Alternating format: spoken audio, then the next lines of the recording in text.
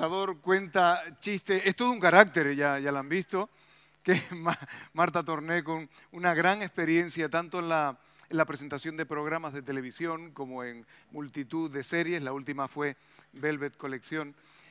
Y sí me, me confieso algo también muy breve, diciendo, sí, yo eh, puedo tener un aspecto más o menos mona, pero estoy toda rota por dentro. La columna torcida, tengo los pies planos, y eso también te habla de la, de la gran humanidad de la gente, y con un tremendo sentido del humor y una desbordante espontaneidad. Marta, torné.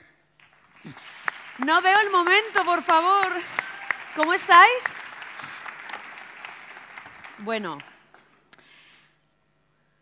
¿Y esta foto de mierda? ¿No había peor foto? O sea, que se me ve papada. ¿En serio me queréis hundir? Voy a cambiarla. Aquí está.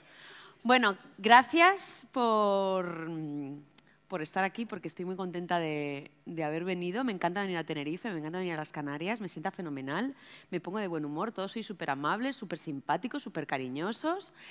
Y cuando me llamaron para decirme que tenía que hacer una charla sobre las nuevas tecnologías, me encantó la idea porque a mí me encanta hablar.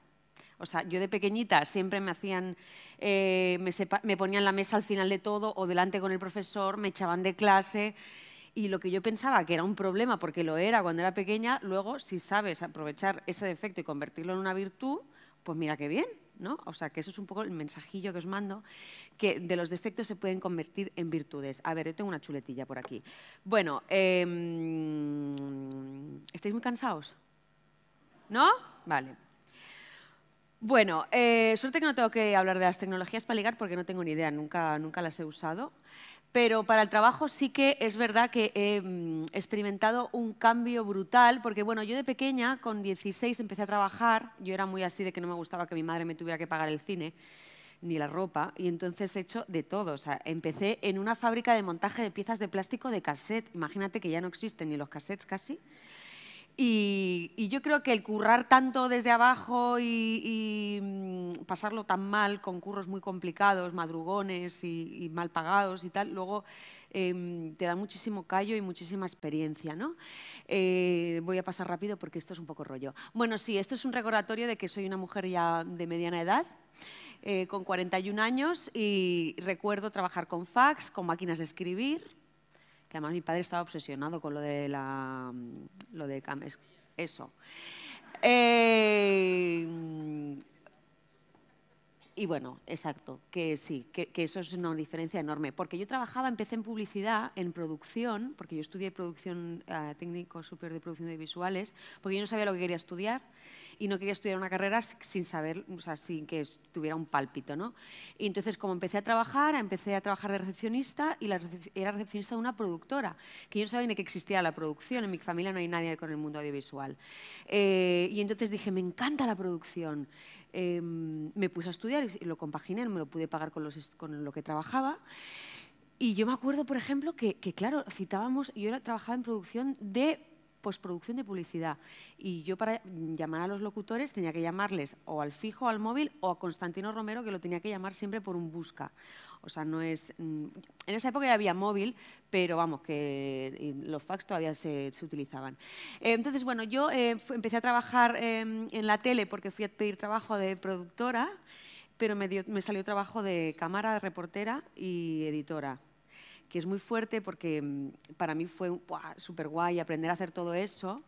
Y, y, eso lo hacen ya los chavales ahora de, de 11 años en su casa con un móvil. O sea, puedes grabar, puedes editar, puedes... O sea, me parece mm, maravilloso, ¿no?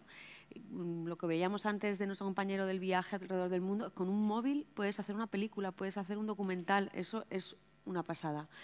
Eh, vitamina N, ese programa, eh, entonces, eh, luego estuve de guionista, de redactora, y entonces Jordi González, que es muy curioso también, me cogió de colaboradora, aparte de todo lo que hacía detrás, y mi sección era leer mails, porque era la primera vez en televisión que se hacía un programa donde había un poco de feedback a través eso, de los mails, y fue el primer programa que introdujimos en la historia de la televisión, era la primera vez que la gente podía enviar SMS eh, opinando sobre el programa. Y para nosotros era alucinante, claro, porque veíamos cómo la gente comentaba en directo las cosas que sucedían ahí. Ese programa luego lo llevamos a Telecinco, que fue un programa que se llamaba TNT, no sé si os acordáis. Hacíamos audiencias de 37 de share, que esto ahora, madre mía, ni la voz. ¿eh? Y luego... no, que la voz es muy chula, es muy chulo. Eh, bueno, toda esta etapa, luego di el salto al internado, que además fue gracias al director de casting que veíamos antes en la secuencia de, Paquita Salas, Luisa Narciso, que no sé si la habéis escuchado el nombre, ¿os acordáis? Pues él me metió de, actriz. Todo en mi vida ha sido el, misterio de las casualidades, de las coincidencias. Yo nunca había soñado ser actriz, ni ser presentadora, ni ser nada de eso. Eh, pero todo siempre me, me, lo he ido encontrando por el camino. Que por cierto, mientras que estaba esperando, para que veáis cómo han cambiado las tecnologías, que luego llegaremos, eh, me ha llegado por mail un casting para una película internacional súper chula, que bueno, oh, Dios mío, ojalá me salga, un director súper importante, un papel muy pequeño, pero mm, ahora estás aquí, estoy en Canarias, recibo un casting, lo puedo grabar en mi hotel con el móvil, lo mando y se manda directamente a Estados Unidos. O sea, imaginar lo que ha cambiado el mundo de, de las actrices. Eh, bueno, el internado, qué pena el internado que no lo aprovechamos, o sea, que no estábamos en el momento en el que estamos ahora.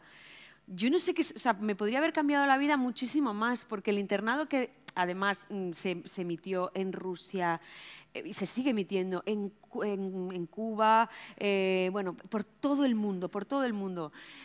Imaginar ahora que lo hubieran puesto en una plataforma digital, que fíjate, de repente las actrices como Blanca Suárez, como mm, Úrsula Corberó, que de repente tiene como 6 millones de seguidores eh, en Instagram, que eso es una locura de pasta, porque por cada foto que subes, si tienes 6 millones, no quiero saber lo que deben cobrar, deben decir cosas, cosas que no, claro. Entonces el internado, em, claro, fue un súper fenómeno, pero quizás si hubiéramos estado en el momento de ahora, pues hubiera sido pues, muchísimo mejor. El gran cambio. ¿Ves? Aquí sí que estoy mona. ¿Ves?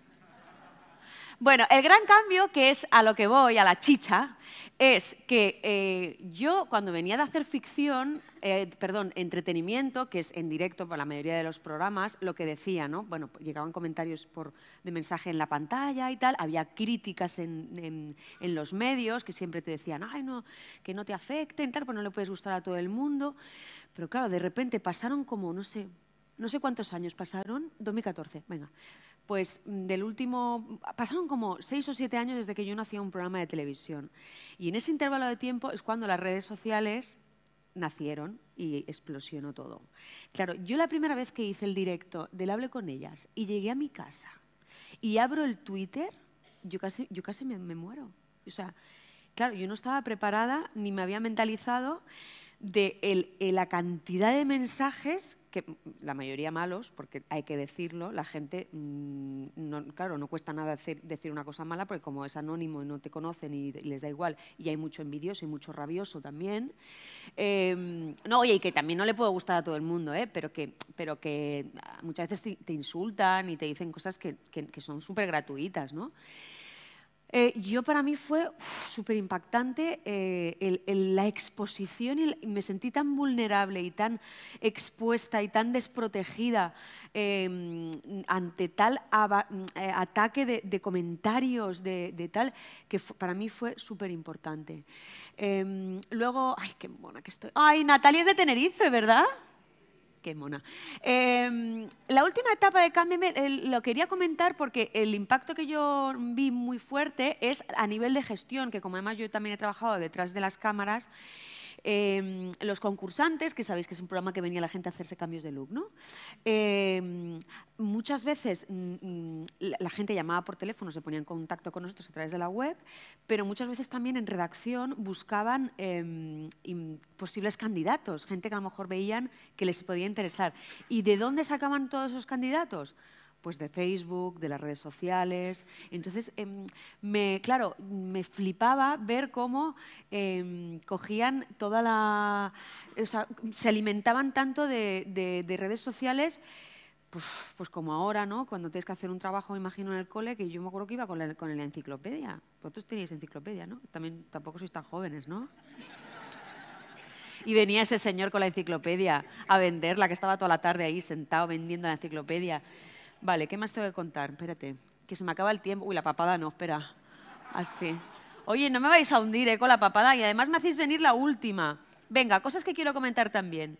Em, vale, muy importante. la ah, luego hablo de las redes sociales de Instagram, que em, también quiero comentar que para mí es una nueva forma de trabajar, una nueva forma de, de ingresar dinero. Eh, de, a través de, los intercambios de colaboraciones y publicidad. Venga, iros todos, compañeros, no pasa nada. Yo os he escuchado. No, se preparan para la foto final. Uy, que ya acaba esto. Entonces, ay, que me, me pierdo, nena. Necesito yo un pinganillo. A ver, joder, macho, es que no me podéis poner la última, que es que es algo como un toro. A eso.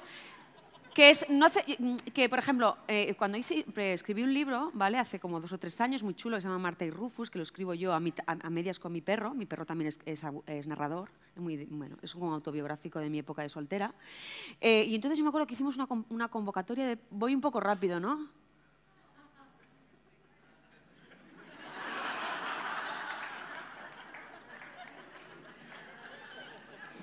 Qué profesional.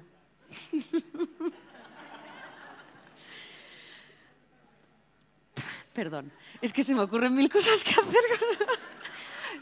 Eh, bueno, hicimos una convocatoria que lo pagó la editorial, súper chula, se gastaron un montón de pasta y me acuerdo que me decían, Marta, vienen veintipico medios. Y yo, joder, qué guay, porque no, soy mm, eh, eso, Penélope Cruz, pero entonces, bueno, yo estaba súper feliz y tal. Y me llevé un chasco muy grande cuando resulta que eh, yo haciendo promoción del libro y tal y cual, luego veo todas las entrevistas en prensa y no había ni una que dijera que había sacado un libro. El titular era, Marta Torné no se plantea tener hijos. Marta Torné no quiere tener hijos a corto plazo, que no sé qué obsesión, pero bueno. Y me dio mucha rabia porque al final estábamos, mm, estamos como mm, mm, en manos de alguien que decide por ti. Y esto con las redes sociales se ha terminado, porque ahora yo si quiero promocionar lo que, lo que me dé la gana, eh, lo, utilizo en mis redes sociales y lo, explico de mi propia voz. Y ese nuevo canal de comunicación para la gente que trabajamos, mm, que necesitamos mm, comunicar y, y explicar, promocionar un teatro, promo- y ya no solo promocionar, sino explicar lo que sea, es una maravilla porque puedes explicarte por ahí, ¿sabes? Y no depende de que te hagan un titular que les dé la gana a ellos o que les interese, ¿vale? Luego, em, eso, las redes sociales eh, a mí me cuesta un poco porque tampoco soy de... mm, yo creo que como no soy mile- millennial, eh, yo creo que eso también lo noto, ¿no? Intento... O sea, a mí este rollo de estar todo el rato explicando, haciendo los stories de, ay, pues que está, vengo de no sé qué, tal, es cua-", me cuesta, me cuesta. Y me cuesta, por ejemplo, yo, mi pareja tengo hace como nueve años y casi no subo nunca fotos con él, porque es que no creo que eso suman, sume nada a mi, a mi imagen pública. Eh, intento pues, reco- mm, recomendar cosas. eh, por cierto, que la charla primera de lo de la comida, eh, por favor, no os lo- o sea, pensarlo, ¿eh? porque yo me- la comida me ha cambiado la vida, de la salud de, brutal, o sea, de, soy otra persona y, y es muy importante te- tener conciencia de todo esto, del azúcar y todo esto que ha, ha implicado antes, que es que se me olvidan las cosas. Ya me he pasado dos minutos. Pues nada, venga, os pongo la papada para despedirme.